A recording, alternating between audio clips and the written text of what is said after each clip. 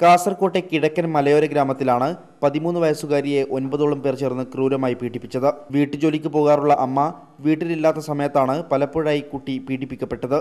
പീഡനത്തെക്കുറിച്ച് വിദ്യാർത്ഥിനി അധ്യാപികയോട് പറയുകയായിരുന്നു. ഇതേ തുടർന്ന് അധ്യാപിക കുട്ടിയെ ചൈൽഡ് ലൈൻ പ്രവർത്തകർക്ക് മുമ്പാകെ എത്തിച്ച് നടത്തിയ കൗൺസിലിംഗിലാണ് കുട്ടി പീഡനകഥ വെളിപ്പെടുത്തിയത്. ഒരു വർഷമായി താൻ പീഡിപ്പിക്കപ്പെടുകയായിരുന്നുവെന്ന് കുട്ടി പറഞ്ഞു. നിരവധി ആളുകൾ പെൺകുട്ടിയെ പീഡിപ്പിച്ചു ബന്ധപ്പെട്ട് അമ്പലത്തറ പോലീസ് സ്റ്റേഷനിൽ ഒമ്പതോളം കേസുകൾ രജിസ്റ്റർ ചെയ്തിട്ടുണ്ട്. പ്രതികൾക്കെതിരെ ശക്തമായ നടപടി സ്വീകരിക്കുന്നതാണ്.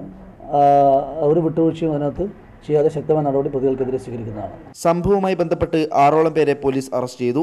തായന്നൂർ സ്വദേശി കരിന്തളൻ ബാലൻ ഷാജി രവി സുധാകരൻ ആസാം സ്വദേശി ഹുസൈൻ എന്നിവരെയാണ് Hosdurg C I K V വേണുഗോപാലിന്റെ നേതൃത്വത്തിലുള്ള സംഘം അറസ്റ്റ് ചെയ്തത്. മറ്റു പ്രതികൾക്ക് വേണ്ടിയുള്ള അന്വേഷണം പുരോഗമിക്കുകയാണ്.